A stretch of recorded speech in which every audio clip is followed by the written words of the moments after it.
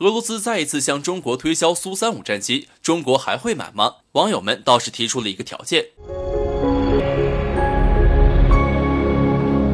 随着五代机时代来临，中国空军也借助歼二零位列世界顶级空军之位，与美俄仍处一个档次。而俄罗斯官员近日却提议，中国应该再次购买俄国的上一代战斗机，这是为何？对此，网友们也有话要说。据媒体报道，俄罗斯方面表示，将于今年年底向中国交付一批 S 四百防空导弹。而有俄罗斯官员呼吁，中国应该在今年再采购一批苏三五战机。此举受到了中国军迷的热议。中国曾在二零一五年以二十五亿美元的价格从俄罗斯订购了二十四架苏三五战机，并且在二零一八年正式列装中国空军。目前，这二十四架苏三五已经全部到或。不可否认，在歼二零战机还未大规模量产的时候，苏三五战机的确填补了我国战机过渡到五代战机的一段时间空白。不过，网友表示，如今中国已经装备了一定数量的歼二零，并且还有歼十六、歼十一这样的战机作为高低档搭配。苏三五战机并非是我们的必需品了。除非满足一个条件，如果苏三五能换上产品三零发动机的话，我们还可以考虑一下。产品三零发动机是俄罗斯为其第五代战机苏五七专门打造的新型矢量发动机，该发动机目前还处于正在试飞测验的阶段，还被正式在苏五七上服役。